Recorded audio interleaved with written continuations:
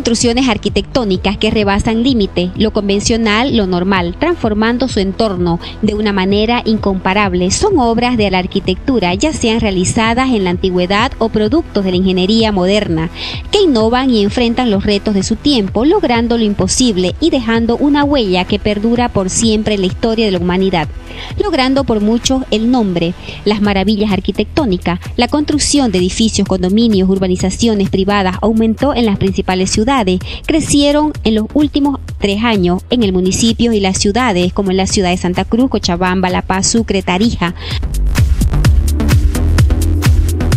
Nos encontramos con el ingeniero Rodolfo Germán. ¿Cómo está ingeniero? Gracias por estar en el programa, un placer tenerlo y bueno, con algo, con un tema tan importante como es ahora la ingeniería.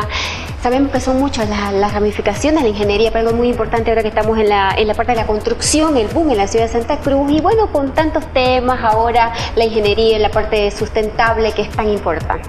Sí, gracias Shirley. Bueno, en realidad eh, el boom de la construcción en Santa Cruz obviamente nos llama hablar muchísimo del tema de ingeniería civil como una de las ramas de la ingeniería que obviamente está hoy más demandada que, hace muchos años en Santa Cruz, ¿verdad?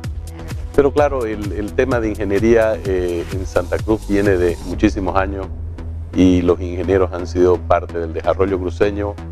En su momento, cuando comenzamos con el plan de Chin, si lo quiere llamar así, en el año 60 aproximadamente, y hoy en día este, con este boom de la construcción, con esta explosión demográfica de Santa Cruz, obviamente los ingenieros y principalmente los ingenieros civiles eh, han sido muy demandados, muy demandados obviamente en, esta, en esta explosión, en este crecimiento de Santa Cruz.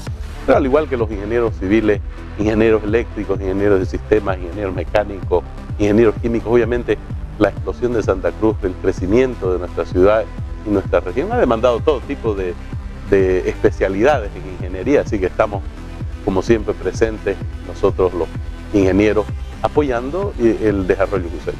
Muchísimas gracias, ingeniero. La verdad, un tema muy importante, muy interesante y agradecerles realmente. Y bueno, vamos a estar eh, tocando estos temas porque la verdad que son de gran importancia para ese ciudadano que está atento a este desarrollo, como tocábamos ahorita, este tema tan importante como es la, ingeniería y la arquitectura. Así es, gracias, Shirley.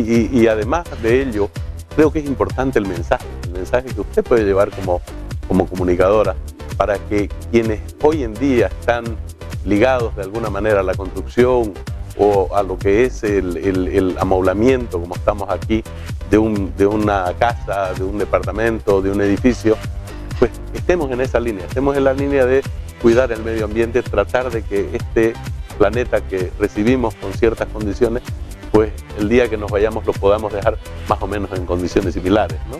Entonces es importante mandar el mensaje también para todos quienes utilizan materiales, etcétera, que siempre tratemos de utilizar materiales y cosas que estén de acuerdo con el medio ambiente, preservando un poquito lo que es este planeta. Gracias.